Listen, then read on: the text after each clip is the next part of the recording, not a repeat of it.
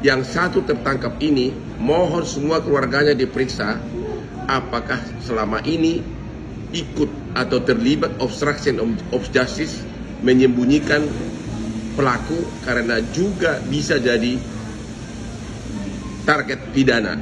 Hotman Paris Hutapea mendesak polisi turut memeriksa keluarga Peggy Setiawan alias Perong yang diduga otak pembunuhan dan pemerkosaan Vina di Cirebon pada Rabu 22 Mei 2024. Diketahui Peggy yang masuk dalam DPO selama 8 tahun berhasil sembunyi dari kejaran pihak kepolisian.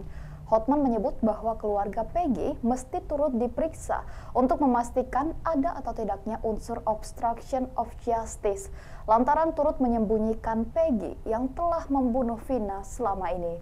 Bahkan dengan geramnya, Hotman menyebut keluarga Peggy bisa dipidana apabila terbukti menyembunyikan anaknya yang menjadi tersangka. Kabir Humas Polda Jabar Kombes Jules Abraham Abbas mengatakan Peggy ditangkap saat berada di wilayah Bandung dan bekerja sebagai buruh bangunan. Belakangan terkuak bahwa Peggy alias Egi alias Perong ini merupakan otak di balik kasus pembunuhan dan pemerkosaan Vina. Kabar itu disampaikan oleh kakak Vina karena Peggy yang ditolak cintanya oleh Vina.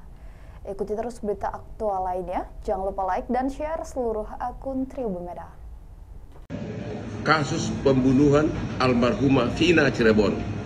Terima kasih kepada Polda Jabar. Satu DPO telah tertangkap. Terima kasih kepada Polda Jabar. Satu DPO sudah tertangkap oleh Polda Jabar baru satu dari tiga. Thanks. Semoga yang dua lagi dapat. Yang satu tertangkap ini, mohon semua keluarganya diperiksa apakah selama ini ikut atau terlibat obstruction of justice menyembunyikan pelaku karena juga bisa jadi target pidana ya keluarganya pun bisa dipidana kalau terbukti menyembunyikan si pelaku ini selama ini satu DPO pembunuhan Vina Cirebon sudah tertangkap.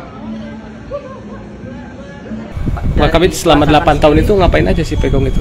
Nanti akan kita sampaikan ya, perkembangannya masih dilakukan pendalaman oleh teman-teman penyidik dari Ditkrim Umpolda Jabar.